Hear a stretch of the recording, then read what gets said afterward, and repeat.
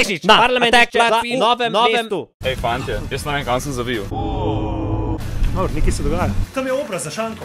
Očitno je to res plac v dan D. V pomanjkanju patriota smo veseli, da v bistvu ljudje pridejo sem in sami pravijo, da v bistvu v mestu nič kaj preveč ne dogaja. tako da- Ja, mi smo tri reprasi, ne?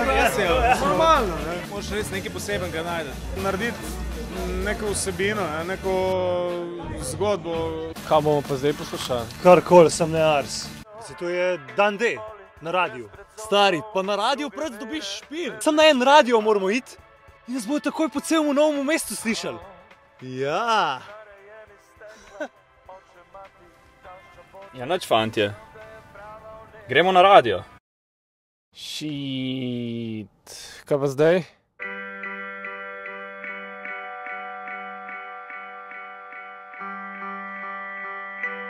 In tako so se naši junaki odpravili iskat radio, na katerem bi končno predstavili svoj album Životinsko carstvo vesoljni publiki novega mesta.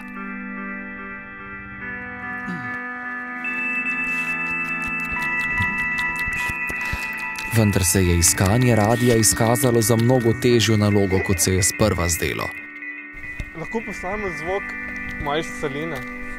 Ni kleni plac. To je že nova serija. Mm. Bo, Bog da nišče plat za stanje Sam v novem mestu. Ta ni primerna. To je primeren plac.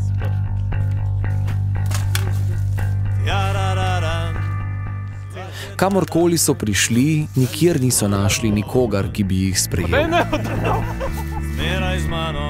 To je to, Prišli smo. Ja, to je radio Krka. klena zemlja mi kaže, da je.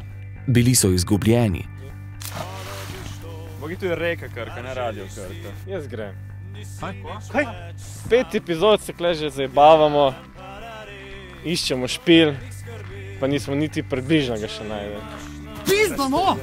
A je tako fucking težko priti na fucking lokalni radio? Fucking špil. postali so zelo žalostni.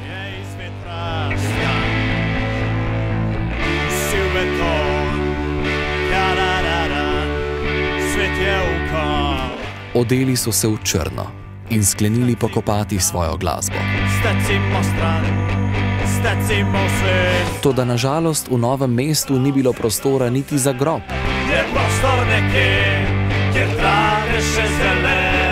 Zato so se odločili zapustiti svoj rodni kraj in so odšli v daljno kraljestvo,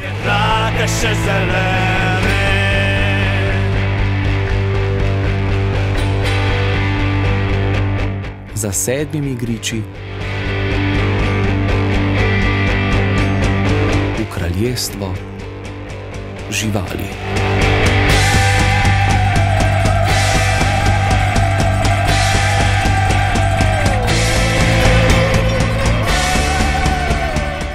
Z blagoslovom svetega Matevža so se odpravili na pot ter se zavedno poslovili od novega, novega mesta.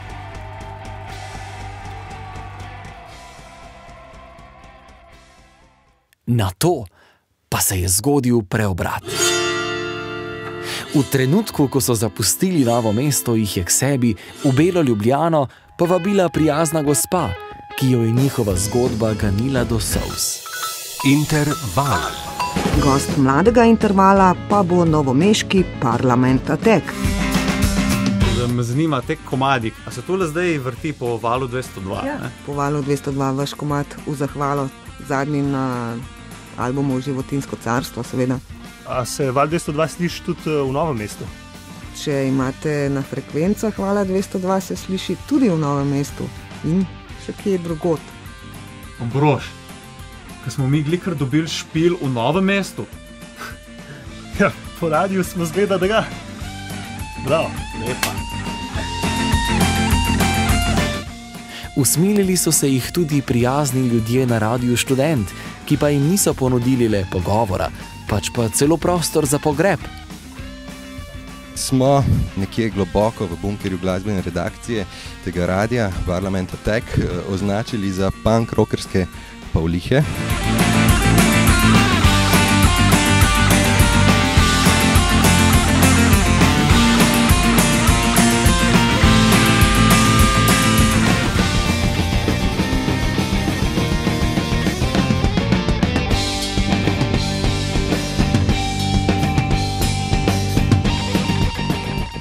Povedali so jim, da se pripravlja vse slovenska turneja Klubski maraton in da lahko parlamentatekovci postanejo del tega popotovanja po širjavah slovenskih glasbenih prizorišč. Ponudili so jim ne enega, ne dva, ampak sedem nastopov. Naši junaki so postali neizmerno veseli, sedaj jim je uspelo, počutili so se kot v pravljici. Končno bodo lahko predstavili svoj novi album in ob tem še raziskali kraje, v katerih njihovi inštrumenti še niso zazveneli.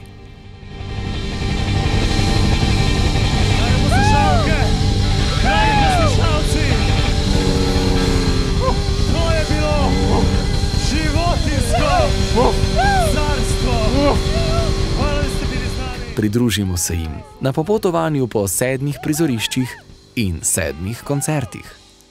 V nanizanki Parlament Attack in sedem špilov. Naslednjič se vidimo v Velenju. Do takrat pa lahko noč, otroci, in spizdite vsi.